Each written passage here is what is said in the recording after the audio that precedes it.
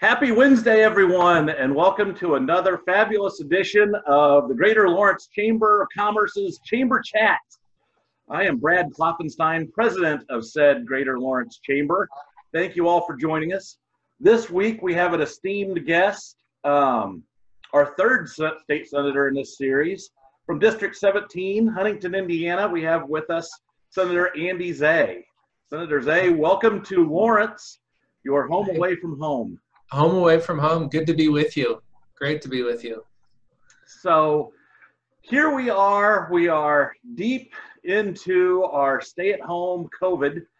Uh, so let's just start with you. Give us some of your thoughts on what's going on. Give us some pearls of wisdom. And then I have a whole bunch of questions to ask, and we'll probably take some questions from the assembled masses as well. So go right ahead, Andy.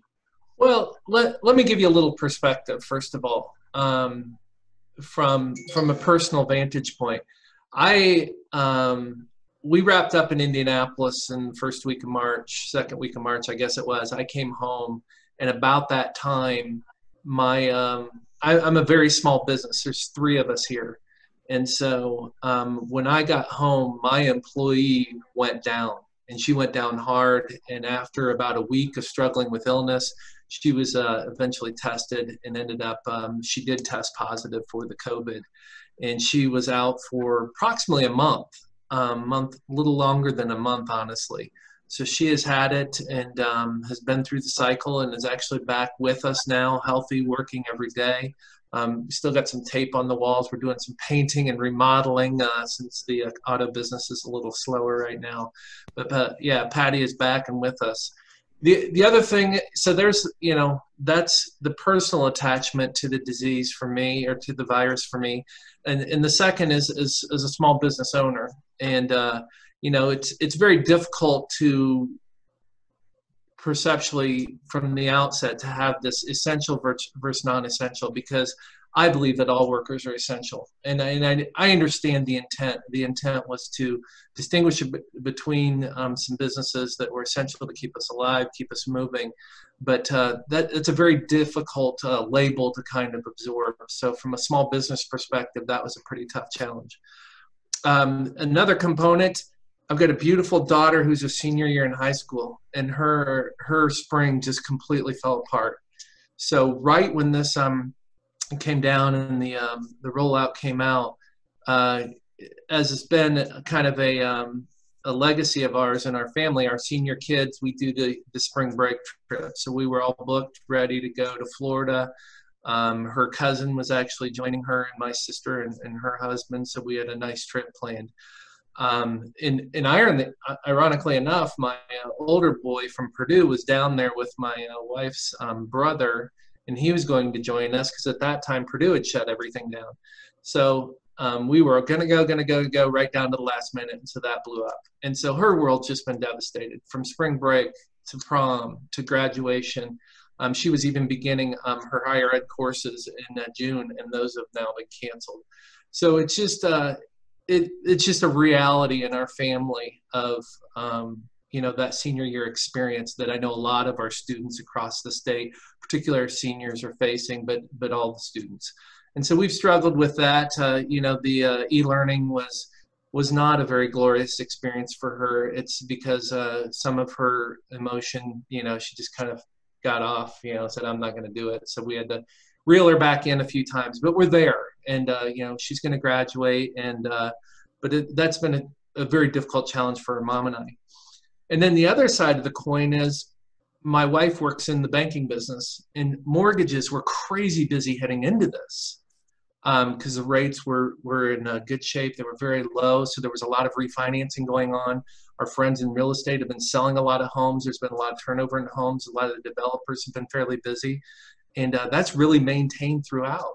So in some respects, a lot of business, a lot of society had slowed down, but my wife's working 11, 12, 13 hour days and is having a hard time kind of even compartmentalizing keeping her work at, at work and, and being available for the kids and in, in our family setting. So it, it has been a whirlwind of emotions. And I guess that's why I share that because we, we've been everywhere. You know, I go to work all day and my business stinks. It's, it's completely fallen apart. So I'm slow you know, we're kind of redecorating here and, and doing things to keep us busy, doing some outreach marketing. I've done some uh, quiet political marketing, just writing letters and staying in contact with people. But my wife, you know, she can't, she doesn't even have time to eat lunch. And then we all assemble in the evening where we, where that has been one of the blessings because we've gotten together. But um, you know, we're we're on many different frames of mind. We this time of year, my my 14 year old, we'd be out at we'd be over at Westfield playing ball or or bouncing around Midwest playing a lot of baseball. So um, that's my that's my personal relationship with all this. So it, it, has been extremely difficult on all fronts. And I think we've seen on Facebook, you know, where everybody says, you know, the you have the one side that says it's all crazy, one side that's very concerned, and one side that's kind of in between. And that's kind of where I'm at, honestly. You know, I do think it's time to to open up some. I, I understand the real impact that it's had on small businesses in particular, and many businesses. Um, the doctors, a lot of them, even the ones that we're listening to from the highest level to to others that we know, there's been a lot of changing of um, policy and changing of director directives throughout. But um, we also have to respect this virus. It's it's very serious. Um, you know, I talked about it uh, with in relationship to my own employee. Um, the data, you know, in, in those that uh, we're listening to on a regular basis with the governor and his team, and uh, those that I know up here in Northeast Indiana um, you know, it's it's nothing to to take lightly. So it's it's it's a combination of everything, and it, it is difficult. It is difficult for all of us. But uh, um, I know that's a wishy-washy answer, but um, I think that's where a lot of people are. I, I think I think they they understand the economic belief that we've got to get some things going. They understand the seriousness of it, and then um, you know even some of the conspiracy theories, if you will, um, I don't know that you can dismiss all the information surrounding that. Certainly, some of it, most of it, but I think there have been some valid points made with with some of the things in between there. So you've touched on a whole lot of things that I want to follow up on. Please do. Um, first, tell me what kind of communication are you getting from the state house as far as are they seeking your guidance? Has the legislature been consulted on any of this, or um, are you guys getting the same the information the same time we are? Well, in full transparency, uh, I get what you get. Um, I, I, I, will say we have our legislative connections. They're responsive when we ask. Any um, concerns that have come to me as a legislator, I have forwarded down to them and they have responded.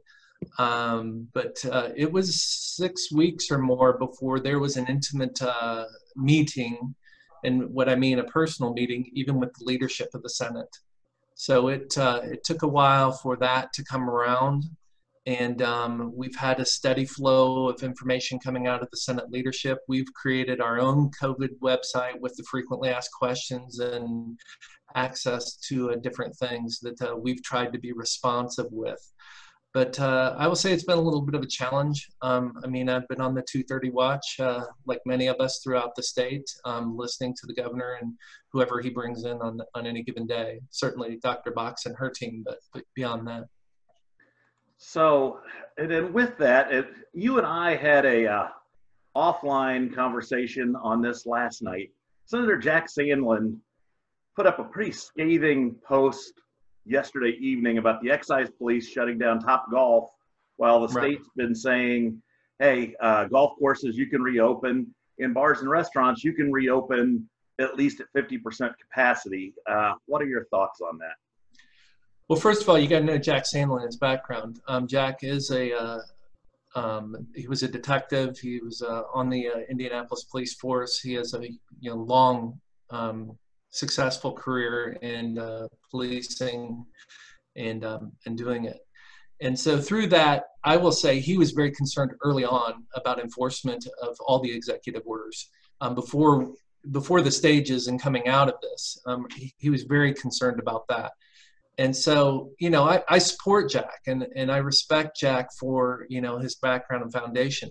And as the um, stages were released by the governor, I, you know, I was excited. I'm a, I'm a businessman. It's like, let's get going, you know, let's go.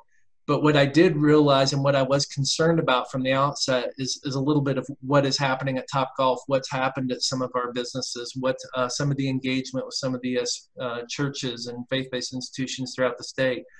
The enforcement is the key, and it's um, you know I think I don't know I I I, I think I think some of it, a lot of it could be handled differently. It's just difficult to distinguish one business from the other. As we were just speaking, um, coming coming online today, um, you know, all all bars and entertainment venues, or most of them, serve food. So I mean, that's that's kind of a big component of it. The fact that they have alcohol too, kind of, you know, we're distinguishing between those classes. And uh, the, the encouraging thing, even for the enforcement and, and, from the governor's standpoint, has got to be a lot of the most of these people, from what I've heard, have taken you know the responsibilities very seriously, insofar as the uh, social distancing and um, some of the masks and those kinds of things. So it's not it's not just rogue where they're opening up and letting people flow in and do that. And and I guess I would just like to see uh, you know a little more consideration given to that, to the fact that uh, some of these that are you know in between type venues would be given a little more latitude, and I think that would serve serve us all better and uh, certainly serve the businesses better because they you know these businesses are ready to go. They got bills and they got mortgages and and the key of the president's initiative um, from the outset through the uh, sba programs and those is to keep people employed. And so um, you know I, I i can't fault the businesses for trying to do to trying to get going and trying to and, and within that trying to do the right thing and play by the uh, the rules set before them I just wish the enforcement maybe could uh, be a little more workable and uh, you know show a little more latitude. So, do you think the excise police is the right agency to be enforcing that? Oh, that'll be a long debate that could go on for a long time. Um, I, I, I don't know. Probably not. I mean, it, when who who enforces executive orders? I don't know. I guess the excise police. That's what we found out at this time. But uh, I'm certain that'll become a discussion uh, this winter in our legislative session. So another question I have for you, and forgive me if I butcher the name of the association, but you are president of the Indiana Automo- Indiana Association of Auto- Automobile Dealers, or something along those lines. Basically, you're the Chamber of Commerce for automobile or automobile dealers. Um, what conversations are you having with your members, and what advice are you giving them? Well, I think it's the same advice, you know, that a lot of the small business associations. I've been networking with NFIB um, uh, the Indiana Independent Auto Dealers, uh, which you should have that down. You took one of their trophies and some of their awards from their uh, annual golf outing. They should have been wearing that. I think you should a little more respect than that. but uh, beyond that, you know, it's it's weathering the times. It's weathering the times. Our friend Damian Mason, um, you know, we've had a kind of a Tuesday night group that's gotten together and you know, it sounds maybe a little silly, but it's been a small business support group where we're, you know, we're whining to each other, but we're, we're holding each other strong and talking about, you know, how far out are you planning? Are you out three weeks? Are you out three months? Are you out, you know, a whole year? You know, what's the reality in this? And, and others that we've seen, um, you know, are, are folding up. So it's, it's just a matter of weathering the times. There's been a lot of guidance with the federal programs, the uh, SBA programs, the PPP, and the economic disaster and uh, we're kind of looking uh, for what kind of relief um, may continue um, or from the state because a lot of those dollars now have fallen into the state's hands. And uh, see if there is a continuation of some small business um, relief grants. And, and as you know as a, as a chamber executive and, and your folks here from the chamber the small businesses are the key to our to our communities to our united ways to our baseball programs you know what will become our football or basketball programs and uh, you know it's just it's it's just so challenging and so difficult to watch them struggle and uh, you know be told what to do and what not to do. And when you have the big box stores kind of you know i guess we can't say business as usual because they are taking on some of the safety measures but have never missed never batted an eye. They've been open throughout this and you know some have amended their hours and, and done some of the safety things but it's still you know that's i don't know i have a little problem with that discrimination if you will between the smaller business and the big business. Yep. All right, we will open it up to uh, our assembled guests here. Does anybody have any questions for Senator Zay while he's with us? If not, I will ask say, more. I was going to say, as a state, it appears that we've done pretty well. You know, you haven't seen that many people up on the state house. Um, most of the people seem to, you know, try to be following the rules. I was just wondering what your perspective was as a state. How do you think Indiana is handling this? I, um, yeah, we touched on that a little bit. I would have been, um, at least from an information standpoint, would have liked to be a little more involved a little bit earlier and have some sense of direction of what we're doing. Because as a senator, as a as our representatives, there's 150 of us out there that are kind of the retail politicians, if you will.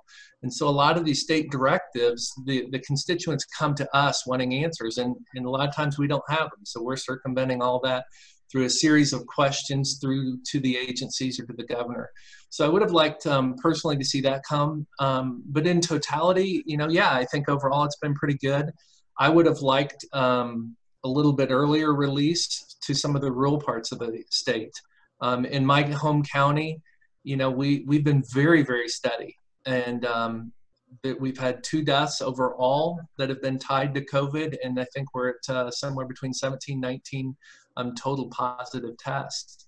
So, um, you know, I, I, just feel that, you know, maybe the small businessman in me creeping out, if you will, but it was, you know, we were maybe a little bit ready, ready to go sooner. And so I, I, I guess I would have been hopeful that uh, maybe we could have sectioned off the state a little bit earlier as far as reopening and let some of the rural communities open first. But overall, you know, you, you see it in the governor, you see it in the doctor's advice, we, we see it in our friends and neighbors the uncertainty is just crazy around this. There's just, you know, there's a twist every week. And, you know, ventilators used to be the thing. Now testing's kind of the thing. And it's like, well, if you're sick, you're sick. The test, yeah, it may tell you, but that's only a snapshot for that moment. So, you know, we're all, we are all learning, adjusting, and adapting as we move forward. But, uh, you know, I, I think overall, you know, it's been good. The, these process meat processing plants are scary. I think we had another one creep up in the southern part of the state the other day, the Logansport thing um, was a difficult challenge, and um, you know the states responded efficiently, effectively, and uh, you know you try and do the best you can and uh, work with the uh, health community to do that. Thank you for the question, Pam. I'm gathering that the state didn't have like a pandemic response thing. So is that something you guys are going to create now? I mean, obviously we've learned a lot and they say, you know, things like this may happen in the future. So is that something you guys are looking at? I, well, I'm sure. We actually, there is um, one of our summer study committees through the Legislative Council last week will be on the uh, COVID response. And so we will take, I think, a historical look at, at how it came about, how we responded, and uh, put that into play. Now, one thing that has occurred since um, what 9/11 is the Homeland Security um, Division. So they're always looking at different types of you know broader effects and natural disasters and that. This is certainly unique in um, being a pandemic, and um, I don't know that even federally we had a plan for this. Uh, you know, that's a debate for another day maybe, but the but they're you know we're always planning we're always talking about these scenarios and we've had a lot of societal issues that have come in front of us where we're, we're planning whether you know it's the unfortunate thing of school shootings whether it's um, terrorist terrorism and now we have um, you know something like this with a pandemic. And uh, these are all unique experiences and we, we have to make sure we're as positioned as best we can and uh, you know there's some there's some lessons that have been learned already and i think we will uh, heed that both from the federal state and uh, certainly down to the local level other questions from our assembled guests? Ross, I always hit you up for a question because I know you have them.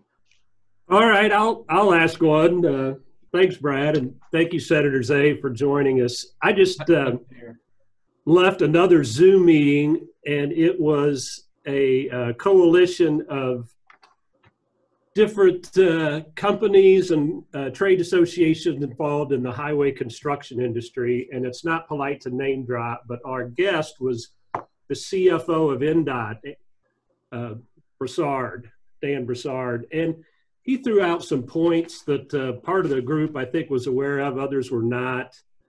And uh, Dan had to go to another meeting, was unable to answer any questions, but I noticed from the House Republican page that you're on the Appropriations Committee, if that's still yes. correct. Yes. And uh, I thought I might just run a couple things by you to maybe uh, make sure I noted them correctly and get your opinion on the likelihood of them happening. Um, Mr. Broussard mentioned that uh, the governor has an authority to impose revi- uh, reversions on state budget items. And then he mentioned something else. I may have the name wrong. The, the state finance committee can actually take away money that's been budgeted or allocated to state agencies. So I was just going to ask you do you think the reserve that you guys wisely built up is going to be able to withstand that, withstand this? Or are those kind of measures going to be needed and reduce the services that government provides and projects that they build, et cetera? Well, I, I great question, and and I think it's too early to answer some of it, but uh, I think the the reality that we all are going to uh, need to understand, whether it's um, local schools, the state government, and hopefully the federal government at some point, we we're going to be living next year, and in, in our, which is our near term, because that will that will be creation of a budget next year, but we're going to be looking at uh, lesser budgets and lesser funds. Um, we haven't had um, gambling revenue now for two months, and, and the likelihood of that um, community getting back together, enjoying the casinos, and in turn creating tax revenue for the state is, is still months off. Um, even when they open, uh, I think you're looking at a very slow trickle. Maybe not. Maybe it'll be pent up demand, but we'll have to see on that. And that's just one example. I mean, the the thing that we're fighting right now, we were off um, about a billion dollars in our April collections was the number uh, that we were given. So the, the question that I that I had is is the deferral of that because the state emulated the federal government in pushing back the deadline to July 15th. And what I did here is that that was off about two, two thirds. And so I guess what I'm saying is ideally of that of that billion dollars, we can still we hopefully will still collect about two thirds of that. Um, so that'll still leave us short three, four hundred million. And when you're talking about two billion in reserve, that sounds pretty good. But I think you're going to see lesser gas tax, you're going to see lesser income tax, you're going to see lesser sales tax throughout the year. So we're going to continue to miss um, budget revenue projections throughout the year. So how we're going to be able to sustain that, um, I don't know. Now, what I do know is we do have a lot of federal dollars in the state right now. The CARES Act funds were uh, distributed to Indiana in um, late April because those need to be distributed within 30 days of the passing of the CARES Act on March 27th. So the governor had 2.6 billion dollars. 200 of that was already earmarked for um, Indianapolis and uh, Marion County, which you guys may benefit from some of that. Um, and the other 2.1, the governor already, or 2.4, the governor already committed 300 million out to uh, cities and counties throughout Indiana. So the question now will be what they're going to do with that 2.1 billion within the CARES Act, and then the other, um, I think there's another one, one and a half billion that has come through education grants, through um, FEMA, through different organizations. And then there's also, I mean, it's been five billion, almost five billion dollars total. So some of those have gone directly from the federal government to hospital systems, and health systems, and different agencies. So that's a lot of money. That may bridge some gaps. It might get us through this year, but I, I just don't see an economic reality that says that, you know, we're going to go back financially within our budgets to kind of business as usual, if you will. So I think you're going to look, um, and, and will the reserve help? Absolutely. But the key is going to be time here. How, how can we drag this out? How can we utilize some of those federal funds? how can we utilize our reserve to get us through a year, two years, three years?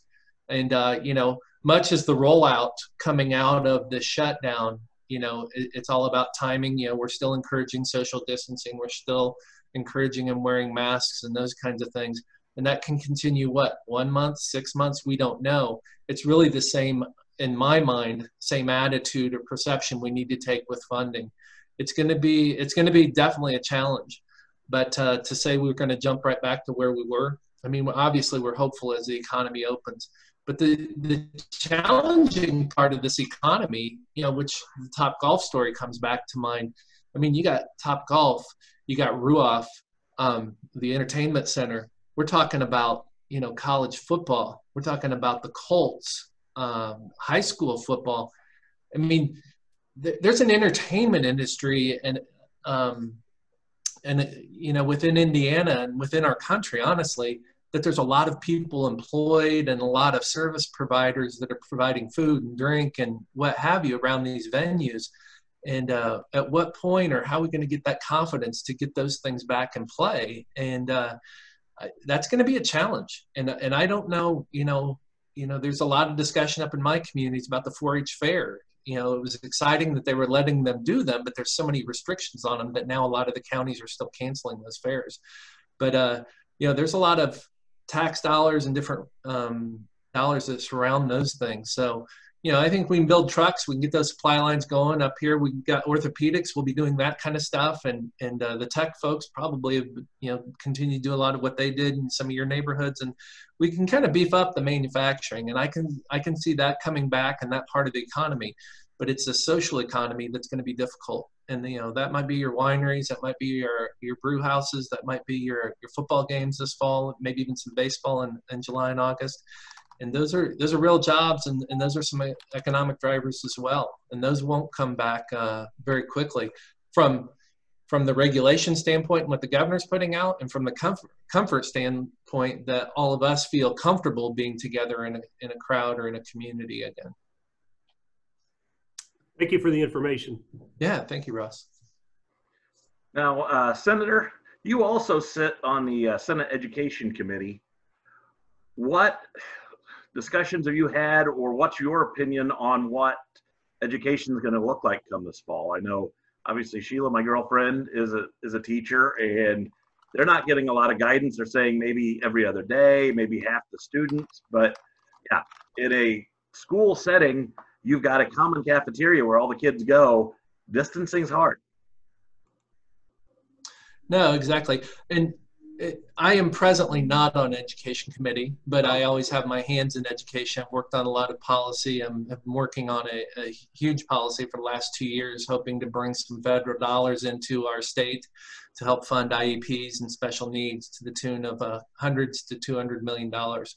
But uh, speaking specifically to education, the governor, I think, kind of set a deadline for himself coming up uh, here in mid-March. Um, I think he's been meeting with uh, Dr. Uh, McCormick and, and her team and uh, seeing how they're going to do that. There've been some preliminary pr- proposals. We've certainly seen that at the higher ed level with uh, Mitch Daniels and Purdue and a few others. I think Notre Dame had an announcement this week um, and how and what they're going to try and do.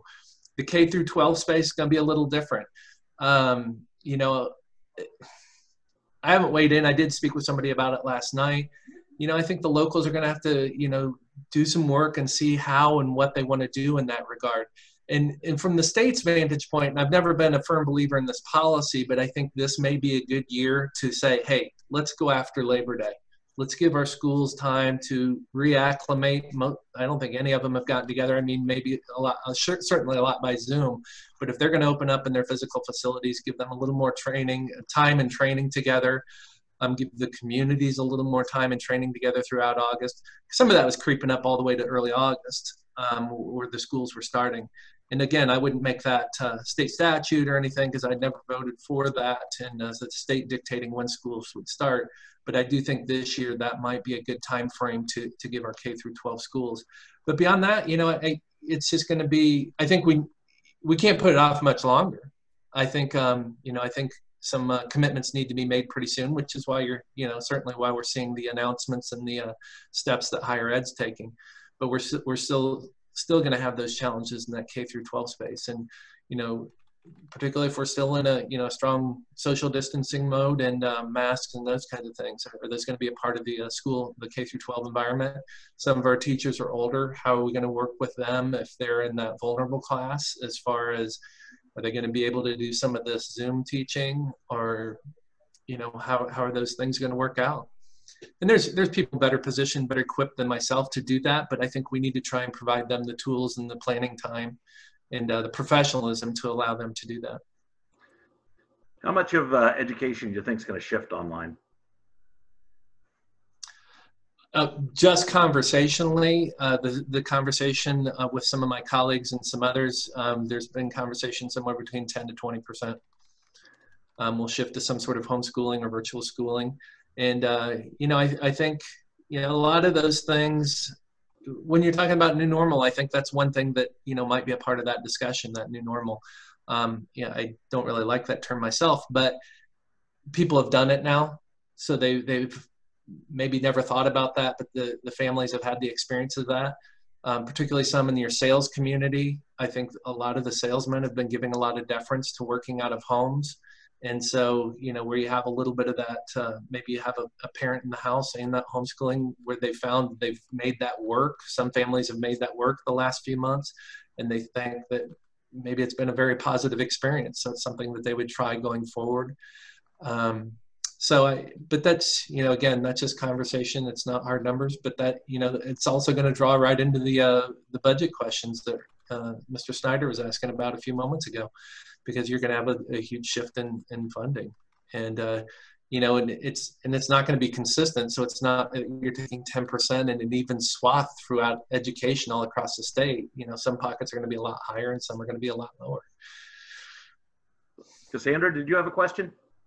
I do. Um, this is about PPP and guidance from the SBA, Senator Zay. I am a small business owner, and okay. They had us apply for those funds and do that calculation as an LLC. They're now changing how it will be calculated for loan forgiveness. So every single, you know, LLC, I have several subcontractors, we're all going to owe money back um, because calculated it one way for application, calculating it another way for forgiveness. And so I'm just trying to see are there avenues where we could voice those concerns so as we continue to get guidance from SBA, because I know I'm only a little over two and a half weeks away from, you know, when I'm supposed to submit my loan forgiveness paperwork.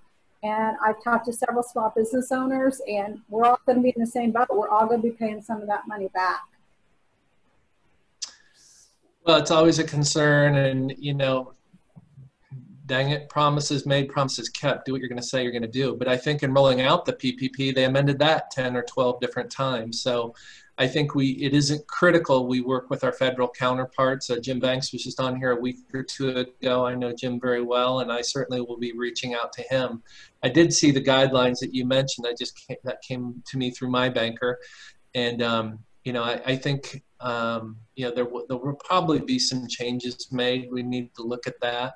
The, the plus side is, I think if we do owe some money back, um, and hopefully for you it's not much, um, I think we can defer that over 24 months. So I mean, the the payback time would be very very liberal from that standpoint, and and drag it out. I mean, as really with any crisis in life, I think what we're looking at now is time. We've we've simply got to try and manage and, and get through. You know, it used to be get through the next year. Right now, it's get through the next few weeks, get through the next month, and um, you know, I I'm hoping a lot of these conversations will change. Um, let's get the governor off TV. We're not talking about uh, talking about it as much anymore. Let's let's say we're doing what we're doing let's get some groups together, see what the impact is. Hopefully, none or very nominal. And uh, you know, and I, and I know that's what they're watching closely now because we are reopening, and um, some of us are doing a better job and a worse job with masks and, and the distancing, and some of us are taking it a little a lot more seriously, some not as much. So, you know, um, I want to get the I want to get the daily death rate down to single digits. I want to get the infection rate down to double digits, and let's see if we can get this thing to disappear and and, and that's just speaking optimistically. I mean, I, I get it. I, I know that it's real, but I just hope we can get to that, and then we can get back, Cassandra, to when we're talking about a little more business as usual. And I and I know it'll be different, but you know, we need to start focusing on what what our what our talent, what our trade is, and uh, we're worrying about a lot of ex- existential things now that are very difficult, including you know paying back the PPP or how that's going to apply. But um, you know, I think there's also potentially some other relief programs coming along, um, hopefully at the local and state level, and that's what uh, that's what the governor I think and his team is working on right now. But, very valid point. I think we need to continue to reach up line and and they're gonna they're gonna I think they're probably going to amend it a few more times. If if if history is any a telling tale of what comes forward, the federal government certainly has done that. But in, in their defense, I mean, it, this has all happened very quickly. All happened very quickly. I mean, I, when we left Indianapolis, this was narrow discussion. And three days later, we were shutting things down. I mean, we sat in caucus for hours. We finished up our session at midnight, and uh, going back, I think I actually I think Senator Sandlin there may have been one or two discussions on this at all, in all our private meetings and all our public meetings, and man, three days later, here we are shutting things down, dealing with this crazy crisis. So with that, Senator, uh, we've only got a couple minutes left. Um, obviously, Lawrence has one of the largest reservoirs in the state, Geist Reservoir, within our catchment area. Advice on how to be a good good boating guest. Be a good boating guest.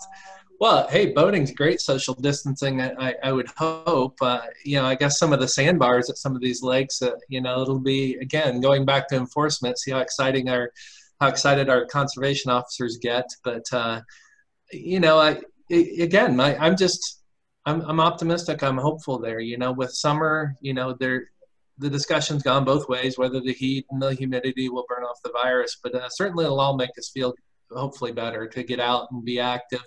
Whether it's the trails, whether it's the lakes, and uh, we can feel you know things will be different but we can feel some sort of normalcy. And the, you know there's economies going around all these lakes. Um, we have a bunch up here in northern indiana and um, throughout the state. And uh, we need to get those you know those micro economies going that are you know three four month economies. And, and some of them aren't. And that's going to be a problem. And that's where you know that's where these fairs and and all that stuff that's those are real economies. I mean whether it's the elephant ear vendor and uh, um, down to you know people providing security at these events. But the, those are dollars churning through the economy that you know thus far aren't going to be happening. I mean fort wayne's canceled all their festivals all the way into the fall already. Almost all of our communities have canceled their festivals. I think there is one up a smaller one up the road that is going to hang on to theirs in, in mid to late june.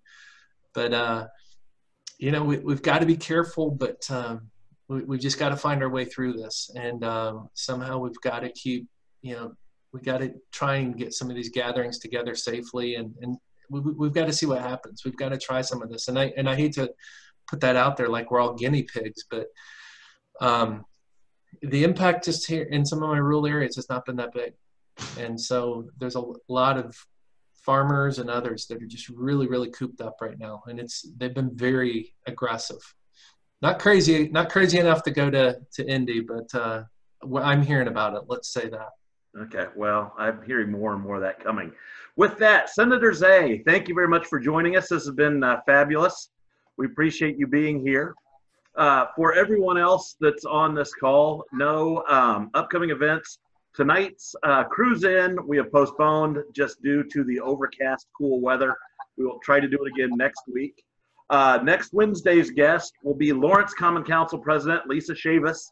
So please put that on your calendar and uh, be sure to join us. So thank you all for attending, and hopefully we'll see you next week. Good to see you all. Thanks for having me, and uh, have a great weekend, great holiday weekend.